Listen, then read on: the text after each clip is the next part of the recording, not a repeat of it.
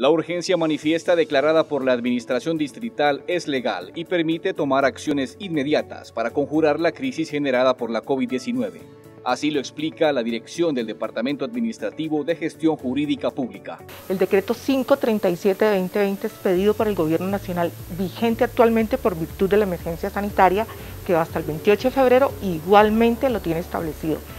Decir lo contrario equivale a desconocer la normativa y la situación actual que estamos viviendo. La alerta roja que se vive en Cali, reflejada en una alta ocupación en unidades de cuidado intensivo, exige una reacción inmediata de las autoridades distritales. Esto nos obliga a nosotros a tener medios de contratación que nos permitan agilizar la adquisición de los bienes, obras o servicios que requerimos.